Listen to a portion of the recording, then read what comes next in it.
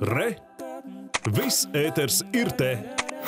Ir jānostiprina Latvijas pareizticīgās baznīcas neatkarība no Maskavas patriarchāta jeb autokefālija.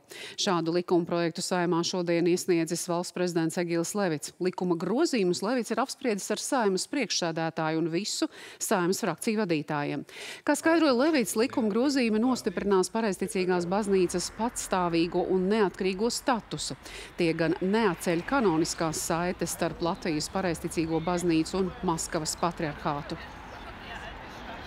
Ar šiem likuma grozījumiem, kas tagad ir iesniegti saimā, Latvijas valsts atzīs, ka Latvijas pareizticīgā baznīca ir pilnīgi patstāvīga un neatkarīga, jeb autokefāla, un tā nav atkarīga ne no vienas citas ārpus Latvijas esošas baznīcas varas. Likumam stājoties spēkā, tiks izslēgta jebkāda Maskavas patriārha ietekme vai vara pār mūsu pareizticīgo baznīcu.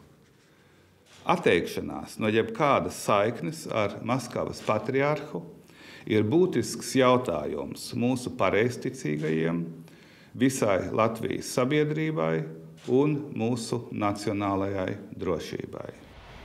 Latvijas pareizticīgā baznīca ir informēta par likuma projektu piebilda Levits, taču prezidents neatbildēja, vai baznīca piedalījās likuma projektu izstrādē.